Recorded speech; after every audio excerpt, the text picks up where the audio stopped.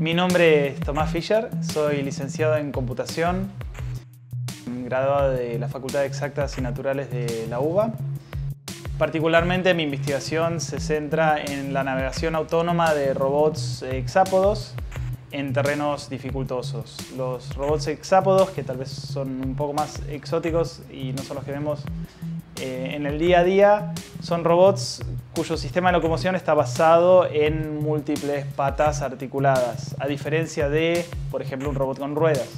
Esto nos permite em, desplazarnos en terrenos dificultosos. Por ejemplo, podemos pensar en una escalera donde es difícil imaginarnos un robot con ruedas subiendo por ahí. Sin embargo, un robot con patas em, no tendría mayores dificultades al estar trabajando con tecnologías que se encuentran en, el límite de la frontera del conocimiento, eh, es muy difícil tener una idea de cuáles son los pasos a seguir para hacer funcionar algo. Y es por eso que buscamos inspiraciones en las cosas de la vida cotidiana, en particular estamos tratando de crear máquinas que de alguna manera replican el funcionamiento de los seres vivos o simulan el funcionamiento de los seres vivos y por eso también buscamos inspiración en las cosas que vemos todos los días en la biología, por ejemplo. Elegí este tema eh, porque me resultaba algo novedoso, donde había mucho trabajo por hacer